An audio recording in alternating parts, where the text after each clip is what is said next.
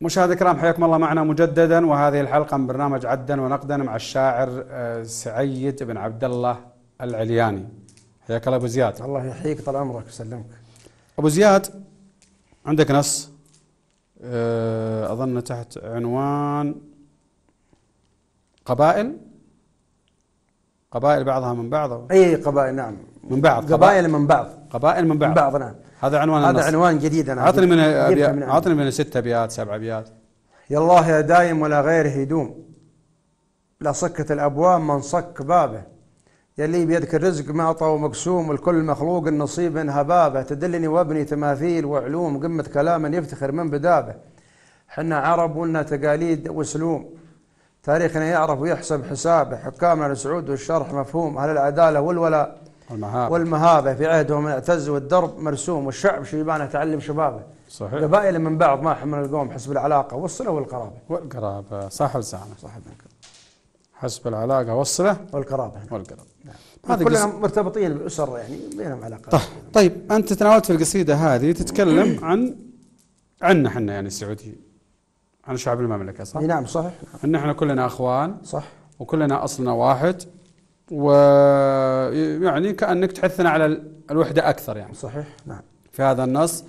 وكعادتك في نصوصك دائما تبدأ بذكر الله سبحانه وتعالى. نعم, نعم. وعندك بيت ما دام قلت يا الله يا دايم ولا غير هدوم لسكت الأبواب ما سك باب صك نعم.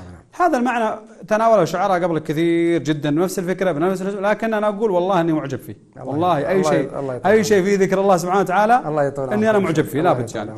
عندك بيت آه، جزل. عندك بيت جزل وجميل جدا تقول الشرع يمضي بين حاكم ومحكوم. ومحكوم على كتاب الله ونهج الصحابة. نعم. بيض الله وجهك صح لسانك. وجهك. آه، عندك تقول وقبيلة الرجال تيجان ونجوم. تيجان ونجوم. ونجوم. نعم. ومثيل ومثيل نجم نجم ساطع. اقتدى به. إي قبيلة الرجال تيجان ونجوم. ومثيل نجم ساطع اقتدى به. ساطع. طيب أنت قلت قبيلة الرجال تيجان ونجوم.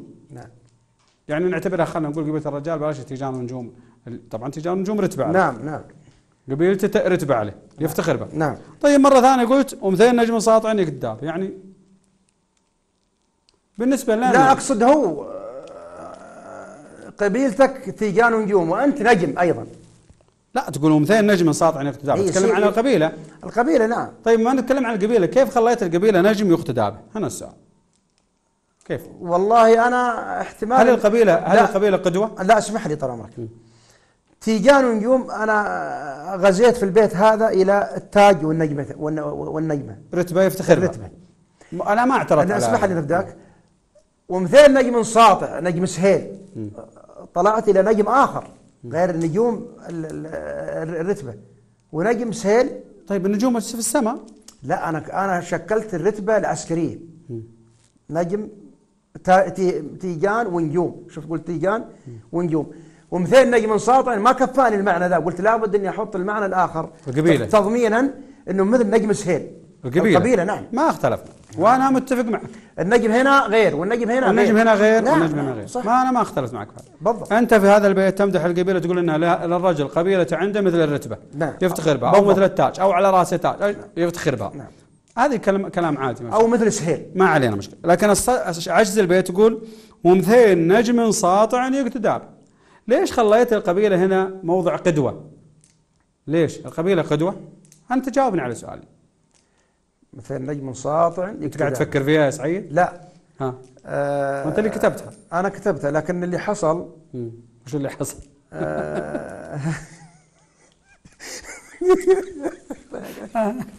والله وش اللي ال- حصل البيت هذا حلو جدا صراحة ها؟ ممتاز جدا. البيت في مكانه ممتاز جدا يعني. طيب وش اللي حصل؟ آه أنا فكرت في نجم سهيل فقط يعني. ترى. وما فكرت فيه كذابه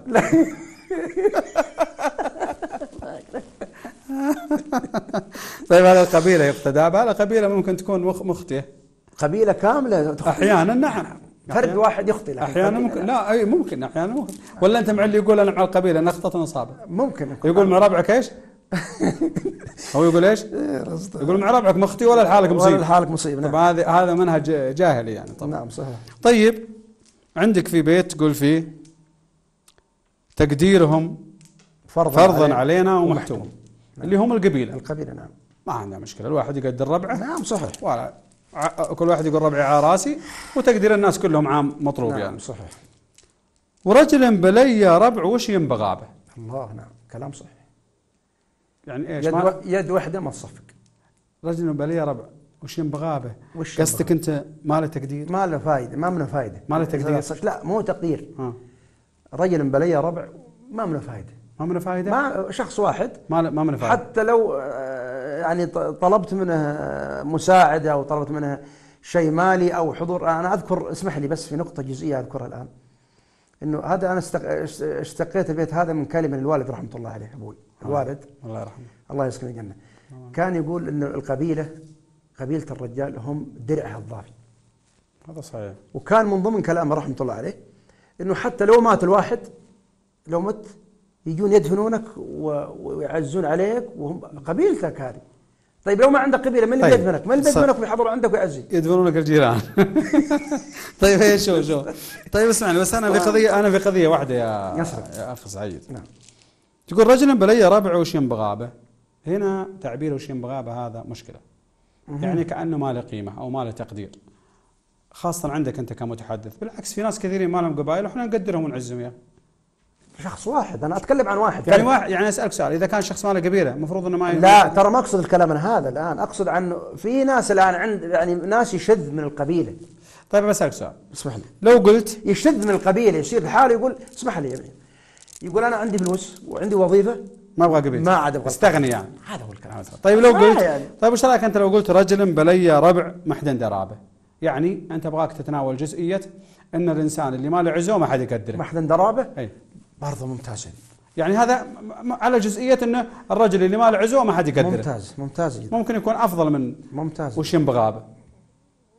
بس الكلمة اللي جبتها أنا كأن فيها نوع فيها حدة شوية كذا. طيب الشاعر سعيد بن عبد الله العلياني. عندك نص بعنوان الجوال الصامت. نعم. اياها معلش أستاذنك بس في في ال- في المفردات القصيدة هذه. هل فيها تجديد أو لا؟ تجديد؟ في تجديد في الكلمة أي قصيدة؟ هذه الجوال؟ أي نعم. طيب عطنا منها ابيات وأنا أقول لك. لا هوجس الفكر. قل لي يلا على بابك. والناس بحر المنام ولا بعد قامت. سجل نفس في الطبيعة واختر أصحابك. الأجواد نفرح بهم وابعد عن الشامت. واختر خوي مناسب واحسب حسابك. وان صرت في البر جوالك على الصامت في ظل سدر عليها ال- العصب متشابك والشمس وقت الغروب ولا بعد غابت. في وادي فيه محن قال وش جابك؟ فيه النفل والخزام والزهر نابت. صح لسانك. قصيدة جزلة. من شاعر جزل. فيها سلمت. فيها بعض ال- الصور الحلوة.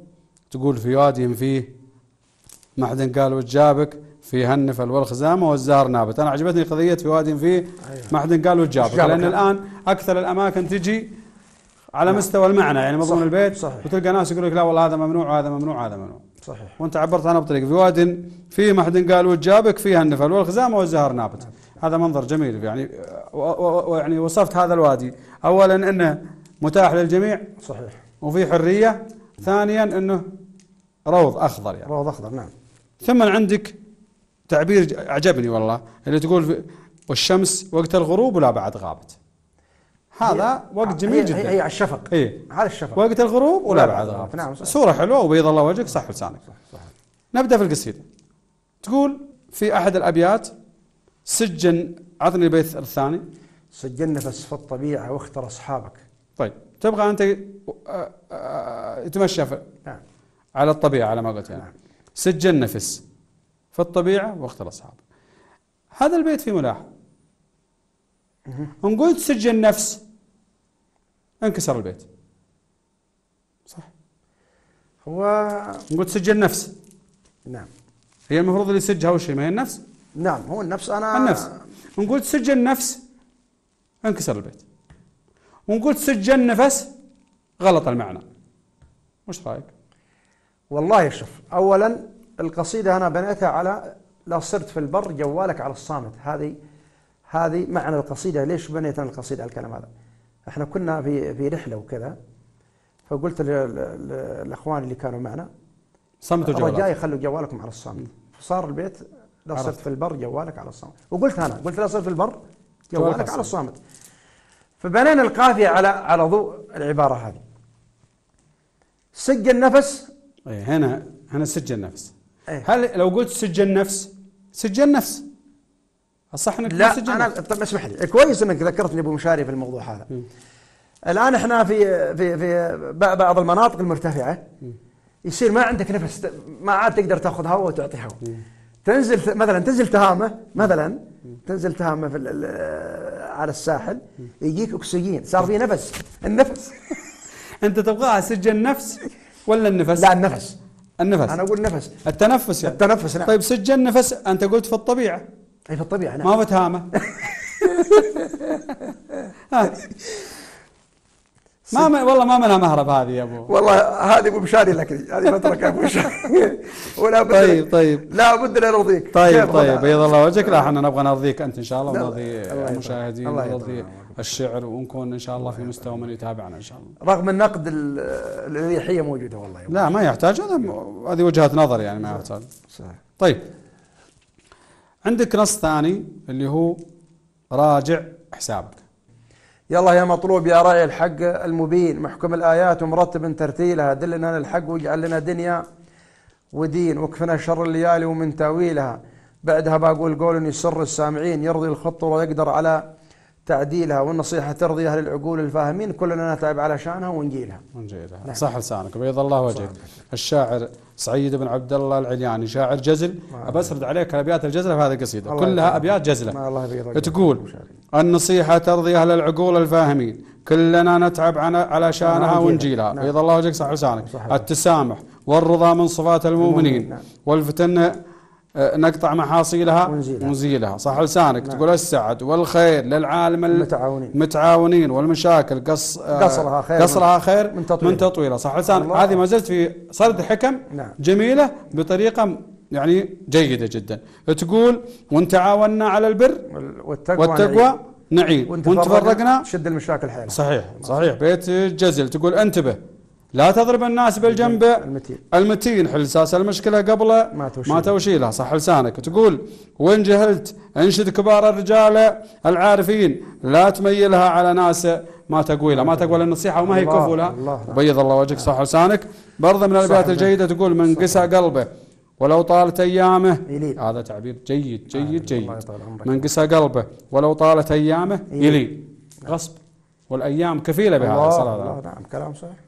من قسى قلبه ولو طالت أيامه يلين يا حليل الوقت وأعمارنا. يا حليلها. يا حليلها. حليلها. كذا كان تركيبها لكن يلا القصيدة من قسى قلبه ولو طالت أيامه مرة يلين. إحنا يا حليلها. إحنا ما نفع يعني اذكر المولى. وراجع حسابك كل حين. دائما توقف عند الأبيات هذه صراحة يقول اذكر المولى وراجع حسابك كل حين. روح ما تعرف محاصيلها يا ويلها. يا ويلها. الله يبيض وجهك صح لسانك. صح طيب. في عندك بس فقط جزئية اللي هي إيش؟ بعد اللي قلت لك عليها اللي هي تكرير نفس الكلام في القصيدة الأولى تقول بعدها بقول بعدها بقول بعدها بقول. دلني ما دلني. هذا تعبير تناولناه قبل كذا. نعم. عموما هذه قصيدة جزلة وصح لسانك وتركيبها جزل. ونشوف القصيدة اللي بعدها اللي هي حياة البادية. الله نعم. نعم. يا الله يلي له عبادة وطاعة. يا باري ديني على خمس الأركان. تدلني هرجن يجمل سماعه. هرجن جميل منصف قلب ولسان. الناس في الدنيا مثال الوداعة لو طالت الدنيا كما يعيش الإنسان. لكن عندي تجربة عن قناعة. متفاهمين أن طبعها عبر الأزمان. حنا بدو نملك فنون الشجاعة ومن غيرنا حظرا وقرون تهمة. صح لسانك نعم صح. قصيدة جزلة. فيها تقول الناس في الدنيا مثيل الوداع لو طالت الدنيا كم يعيش الإنسان. وهي في إطار الحكم اللي أنت دائما قصايد فيها نوع من الحكمة. وترى على فكرة يعني أخاف يزعلوا مني شعراء الحكمة. إذا تحول الشعر إلى مجرد سرد حكم حكم حكم حكم. خلاص يعني يفقد كثير من الشاعرية يصير مجرد سرد حكم؟ ممكن. أي وسرد حقائق ممكن. واحد زائد واحد يساوي اثنين يعني ما يصير يعني مجرد سرد الشعر شا في في في إحساس وفي مشاعر وفي تصوير وفي عمق. ما يعني يصبح الشعر مجرد حكمة كأنه يعني آه، خطبة. ما في شك لكن آه، أنه فيه ملاحظة في, في, في الأمسيات الشعرية. أنت تختار قصيدة واحدة من الحكم هذه ما تحط تجيب القصائد هذه كلها في وقت آه وقت واحد يعني. فقصيدة واحدة تكفي. آه، في في مناسبه أخرى تختار قصيدة أخرى. صار عندك تنويع في الحكم. بس أنا لاحظت الآن تنويع. هذه أنت الآن ما عندك أي قصيدة تلامس الإحساس والمشاعر اللي هي الانسانيه بصراحة. تفضل. أعطني رأيك في هذا الموضوع. آه، إحساس ومشاعر مثل إيش؟ شلون يعني؟ يا كثر إحساس ومشاعر. يعني مثلا خليك تتناول قضية. جانب جانب عاطفي في حياتك أنت كشاعر. وينه؟ ما في. غزل يعني؟ غزل. شرط غزل.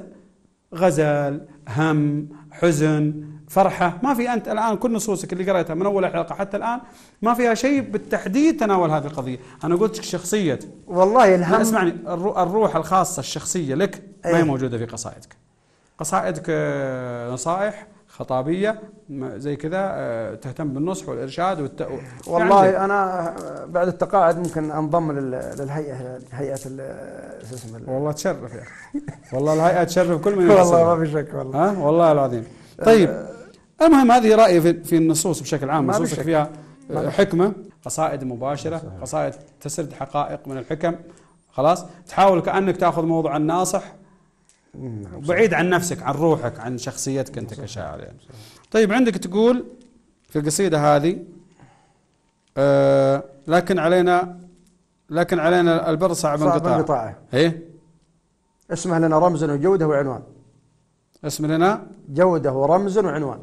فيها اسم لنا جودة ورمز وعنوان؟ وعنوان. ما تحس إن التركيب هذا ضعيف لا كذا؟ اسم البر اسم لنا جودة. ورمز البر. من البر من البريرة. هذه يقولون الناس يعني البادي البادي يقولون من البر من البريرة. رمز معلش تقول يعني آه، رمز رمز معروف. رمز ما رمز إحنا يا بدو البر؟ هذا البر، رمز. إيه. طيب البر. جودة. جودة آه، فيه البر تلقى فيه جودة آه، الطبيعة جودة الرمال الذهبية جودة الأودية جودة يعني ما تلقى أنا عارف هذا الكلام بس ما يتناول بقى. يعني يوم تقول اسم لنا جودة ورمز وعنوان عنوان. تركيب. والقافية أجبرتني إني أط... إني أنهج على المنهج. الشاعر هو من يجبر القافية وليست القافية من تجبره. برضه أنت شاعر اجبر القافية. لابد لابد. عندك نص ثاني اللي هو حسن الخاتمة. حسن الخاتمة. عطنا. يلا يا مطلوب. يلا. يا مطلوب يا عالم الحال. يا عالم من جهر ال- النفوس وخفاها. يا كاتب الرزق يا بني آدم ولا جال تعلم سعادة كل نفس. وشقاها تدلني واختار من طيبة الأمثال. بيت شعر عاليا مستواها استوى واختار طيب المعرفة طيب الأمثال. نصح أنت تعطي الخواطر مناها. صح نعم. صح مخافة الله حق في كل الأحوال. الروح تسعى الأحوال. في الروح تسعى عداء صح. لسانك عندك حكم؟ ونفس الأسلوب سرد الحكم. لله در اللي موازينها ثقال اللي منع روح الشقاء من من هواها. من, من أجمل الأبيات. نعم من هواها نعم. لله در اللي موازينها ثقال نعم. هذه الموازين يوم القيامة نعم. اللي منع روح الشقاء من, من هواها، هواها. نعم. والنفس دائما هواها شر- مشكلة شر- شر. شر شرير، هواها ما في شر. شك يعني. هواها شر. طيب. آه عندك تقول في البيت هذا أما رحمها الله في طيب. الأعمال تقول إما ولا أما؟ إما أما رحم- رحمها الله. ولا هو بأما إما رحمها الله. إما. أيوة عطني البيت هذا. إما رحمها إما رحمها الله في طيب الأعمال. قضى على روحه وحصل جزاها. طيب أنا أقول عندك هنا تقصير في البيت هذا في إما يعني كلمة لا لا مو إما. دائما تقول إما بعدها لازم يجي إيش؟ ولا. إما سوي كذا وإما سوي كذا. إما وإلا. إما. رحمها الله إما طيب. روح هنا ولا روح هنا أو سوي كذا. يعني عندك تصير في نقص في التركيب في صح. صح. الشاعر سعيد بن عبد الله العلياني عندك نص اللي هو المجالس العربية صحيح؟ نعم، نعم. يلا عطنا منها خمسة يا الله يا. رب يا محي رميم العظام يا مالك الملك ما في الكون شيء محال تدلني وأتنقى من جزيل الكلام اللي يجمل عليه يعتبر راس مال من بعدها ودي انصح أنصح أصحاب الوفاء والمقام نصيحة ترضي الخاطر على كل حال آه نصيحة ترضي الخاطر على كل حال. عنوانها للمجالس قيمة واحترام. واللي ما قدر مجالسنا عليه الملام. واللي عنوانها المجالس قيمة واحترام. واجب مجالسنا. نقدر مجا- مجالسنا مجالس رجال. واللي واللي ما قدر مج- قدر مجالسنا عليه الملام. له منا ولا يطرح للسؤال صح. صح لسانك. صح. قصيدة تتكلم عن المجالس وآداب المجالس. آداب المجالس. عند البادية مشاكل الجوالات اللي حصلت الآن والأشياء طيب. ذي و... طيب أنا ب- بتناول جزئية بسيطة اللي هي على مستوى الجلس الموسيقي اللي هي القافية. لاحظ أنت عندك إيش يا أبو زياد؟ إيه تقول يلا يا رب يا محيي رميم العظام. يا مالك الملك ما في الكون شيء محال. وش تلاحظ عليها؟ ما تلاحظ أن كلها عظام محال كلام مال كلها بنفس الجلس الموسيقي؟ صحيح القافية تختلف أنا عارف. لا الموضوع يختلف. الموضوع لابد إن نتكلم عن واجب نق- نقدر مجالسنا مجالس الرجال القافية هذه الأخيرة لابد إن أحطها البيت هذا. يا الله يا رب يا محيي رميم العظام يا مالك الملك ما في الكون. شيء محال. طيب لو كان جبت القافية هذه الأخيرة على ايلها ولا اونها ما تجي. ليه ما؟ تجي؟ عشان أقول واجب نقدر مجالسنا مجالس الرجال هذا صلب لا مو شرط. هذا صلب الب- صلب القصيدة. لا أنا. أقصد ان ما عندك مشكلة. عارف أنا. أنت عندك ام عظام ومحال. الأول أش... قافية البيت الأول إيش هي؟ عام. عظام. ام يعني. نعم. والثاني؟ آل. آل. موسيقيا واحدة ولا ما هي بوحدة؟ موسيقيا. ممكن خل- تكون واحدة، إلا. إذا هذا ما يخلي فيها حركة وخلي تخليها حلوة جميله في إذن المستمع. بس صحيح. لا صحيح. هذه هي يعني. لا صحيح. هذا ولا- ملاحظتك في مكانها ما في شك يعني. أي نعم. ولا مضمونها جزل. عندك قصيدة جزله كذلك اللي هي بذل المعروف. عنوانها بذل المعروف. هذا المعروف. اي عطنا منها مجموعة من الأبيات. قصيدة جزلة. بداية في كلامي نطلب الله ربنا المعبود. عظيم الشأن سبحانه على كل البشر والي. إله الكون كله خالق الدنيا بدون حدود تحت حكمه وتصريفه مسير كل الأحوال. أنا عندي نصيحة والنصيحة راس مال وفوت. نقدمها من القلب النظيف بحسن الأمثال. ما نبغى في النصيحة مادح يمدح وعد, وعد نقود. نبيها ترضي القلب العليل وتغلي. الغالي. أفكر في زمننا والسنين بنقصها والزود. سنين ما وراها يا رجال الخير حلالي. سنين جايرة وأيام يقفاها ليالي نسود تقلبنا على جنبين بين المر والحالي والحال. وحنا يا عباد الله بشر. تفكيرنا محدود. نفكر في الحياة ولا نفكر يوم الهوال صح صح. برضه قصيدة جزلة فيها حكمة. من أروع الابيات اللي فيها تقول سنين جايرة وأيام يقفاها ليال سود تقلبنا على الجنبين بين المر بين المر والحال. وحنا يا عباد الله بشر تفكيرنا محدود. نفكر في الحياة نفكر في الحياة ولا نفكر يوم الأهوال. أو تغانم. يا ابن ابن في آدم. حياتك وابذل المجهود. وسوى اللي يسرك واجتهد في طيب الأعمال. وبعض الناس حي لا عنه ولا ناشد. ولا منشود. حياة من بعدها موت. ما تشرب الأموال. صح لسانك. أبيات جزلة أبيات حكمة. ولكني ما زلت أكرر. أن الشاعر سعيد بن عبد الله العلياني أبياته فيها كثير من المباشرة. نعم صح. آه، ما فيها صور عميقة يا سعيد. صحيح. تصوير ما فيها تصوير صراحة. حكمة جزلة قوية صحيح. لكنها تخلو من هذا اللي قلت لك إياه. عندك أنت قلت مرتين بدون حدود يا أبو قلت آه، وهي يعني سهلة. إحنا يا عباد الله بشر تفكيرنا محدود. وهناك إله الكون كل خالق الدنيا بدون حدود. مرتين قلتها. أي أنا است- استخدمنا ال- ال- جناس العرضة في الموضوع هذا? البيت مشقور على على كيف؟ القبيل. آه، بدون حدود حدود ال- المنطقة. وهنا الحدود هو الشيء الحاد أو من السيف أو وين؟ وحنا يا عباد الله بشر تفكيرنا محدود. كيف محدود؟ محدود حد؟ كيف تفكيرنا محدود كيف؟ تفكيرنا محدود معروف له حدود تفكيرك لا بعض الناس يقول تف... اسمح لي تفكيرنا محدود شلون؟ محدود بعض الناس يقول لك تفكيره حاد. تضع- تضحك علينا بالعرضه يا ابو اسمح لي. ها. وين جناس ما في ولا جناس هذا معروف الشقره إحنا نعرفه وانت تعرفه اسمح لي نفذك آه. بعض بتقول والله إنسان نظرة حاد وتفكيره حاد. وانت انت إيش قصدك هنا؟ هنا يا سعيد. يعني التفكير يا حاد سعيد يا سعيد ما تمشي يا سعيد ما أنت استعمل تفكير محدود هو محدود. وهناك الدنيا محدودة استعملت اللفظ المفردة مرتين. خلاص. طيب خ- اترك هذه معلش. تقول إله الكون كله خالق الدنيا بدون حدود. نعم. كيف خلق الدنيا بدون حدود؟ الدنيا لها حد ولها نهاية وكل شيء معروف. لا ما الدنيا, حد. دا- الدنيا زائلة كلها. البحر ما له حدود. والطبيعة الأرض ما لها حد. من قال هذا؟ علماء الفلك يقول الكلام هذا. البحر ما له حدود؟ لا ما له حدود. من يقول كذا؟ كل البحور معروفة لها حدود. حتى حدود دولية وحدود إقليمية. كيف ما لا, حدود؟ لا آه، حدود في العمق وليس وحتى في العمر الدنيا زائلة لا ما حد. في شك يعني. ولا عمر معروف. اذا كيف حدود العمر. أنت كيف تقول إله الكون إله الكون كله خالق الدنيا بدون حدود؟ الدنيا لها حد معروف ونهاية في يوم من الأيام. كل شيء له نهاية. طيب كيف أنت تقول لكن الدنيا الدنيا بدون ما لها حد. ما لها حد. ما لها حد يعني ما لها وقت آه، وقت قريب وتنتهي. ما تدري متى تدري وقت قريب المهم تنتهي ولا ما بتنتهي؟ ما تدري أنت العلم عند الله الدنيا يعني. بت... أنت دنياك دنياك إيه. أنت هي م... راح تنتهي بنهايتك أنت. أنت. أنا إي نعم صح ودنياي أنا ودنيا أي شخص تنتهي اذا الدنيا لها حدود. صحيح. سواء الدنيا بشكل عام أو دنياي ودنياك الخاصة. صحيح. كيف أنت تقول بدون حدود؟ صح ولا خطأ؟ كلام كلامك صحيح نعم. صحيح؟ صحيح كلام الله يبيض وجهك. سلام الله ويعطيك العافية. الشاعر سعيد بن عبد الله الواسي. الواسي نعم. العلياني بيض الله وجهك الله يطول عمرك شاعر. وجذب وشاعر عرضه. وصوتك مميز وبيض الله الله والديك. شرفتنا انتهت الحلقة إذا كان. عندك كلمة أخيرة والله يطول عمرك أول شيء أبو مشاري الحقيقة أنا والله أشكر قناتكم واستضافتكم وكذلك المشاهدين آه، يتقبلون كلامي وقصائدي بصدر الرحب ولا يعني آه، نقد أبو مشاري إنه آه، ال- الملاحظات اللي ذكرها يعني في المستقبل إن شاء الله بنكتب قصائد فيما يتعلق بإحساس الناس. يعني ال- الإحساس ال- ال- اللي اللي هم يحتاجونه خاصة جيل الشباب. جيل الشباب القادم يحتاج فعلا. يعني القصائد هذه يبدو إنها لسن معين. فأنا بادخل آه، الحقيقة ملاحظاتك هذه وتوجيهاتك ونقدك أعتبره وسام على صدري وأشهد الله يعني. أي والله. أنت اللي شرفتنا بالعكس هذا هو يعني. وشكرا لك والله يعطيك العافية. الله يطول عمرك. الله مشاهدينا الكرام وهكذا انتهت هذه الحلقة من برنامج عدا ونقدا. كانت آه، هذا الأسبوع مع الشاعر سعيد بن عبد الله العلياني. شكرا له وشكرا لكم ونلقاكم في حلقة جديدة من برنامج عدا ونقدا.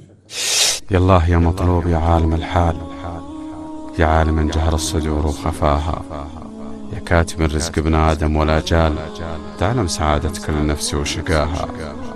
تدلني. واختار من طيب الأمثال أبيات شعر عاليا مستواها. واختار واختار من طيب الحكم طيب الأقوال. نصايح تعطي الخواطر مناها. مخافة الله حق في كل الأحوال. الروح تسعى في رضا من هداها. مخافة الله حق في كل الأحوال. الروح تسعى في رضا من هداها. والحق نور ولا على وجهه ظلال نور القلوب اللي يجلي عماها. والعمر ميعاده على الموت لو طال في مبتدأ دنياه لا منتهاها. ما ينفع الإنسان جاهل ولا مال لا صارت أعماله كثيرا خطاها. إما رحمها الله في طيب الأعمال. قضى على روحه وحصل جزاها لله. لله در اللي موازينه ثقال اللي منع روح الشقا من هواها. والخاتمة في جنة الخلد من زال بالدين وأعمال جليلة. شراها الشاعر سعيد العرياني